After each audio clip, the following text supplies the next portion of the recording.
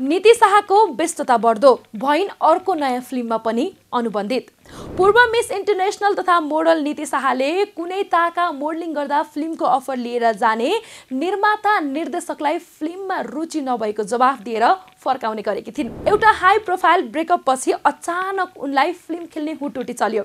आफै फिल्म बनाउनेदेखि खेल्नेसम्मका लागि कसरत थालेकी उनले ल भन्नु मात्र के थियो फिल्म खेल्ने अफरको तातिने लाग्यो। यसपछि त उनले अभिनय गर्ने भनेर फिल्म साइन गर्दै गइन् तर उनले साइन गरेका फिल्म आजभोलि भन्दा भन्दै फ्लोरमा जाने सकेनन्।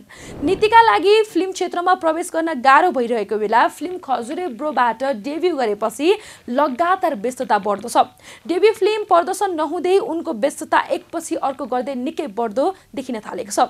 दर्शकमाझ आफ्नो डेब्यू काम देखाउन उत्साहित नीति फिल्म मेकरहरूको रोजाइमा पर्न थालेकी छिन्।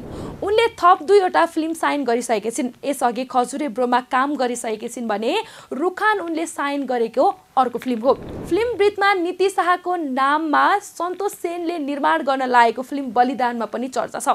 यस फिल्ममा उनले काम गर्ने केही चरण कुराकानी भएको छ र मोटामोटी सहमति नै भइसकेको बताइन्छ। यस्तोमा मोडल नीति अर्को नयाँ फिल्म ज्वाइँ सापमा अनुबन्धित भएकी छिन्।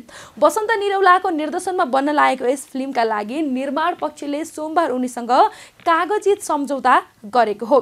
रेड आई फिल्म्सको प्रस्तुति ओएसआर डिजिटल र मौसम फिल्म्सको सहकारीमा निर्माण हुन लागेको फिल्म ज्वाइँ साबमा नीतिले कलाकार जितु नेपालसँग सहकार्य गर्नेछिन् यो फिल्मको शीर्ष भूमिकाका लागि जितु अनुबन्धित यसअघि नै भइसकेका छन्। सामाजिक कथावस्तुलाई कमेडी शैलीमा भन्ने यो फिल्ममा कथाको माग अनुसार नै नीतिलाई अनुबन्धित गरिएको निर्देशक निरौलाले जानकारी दिएका छन्।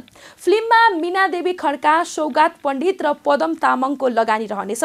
फिल्मका कार्यकारी निर्माता विजय बस्याल हुन्।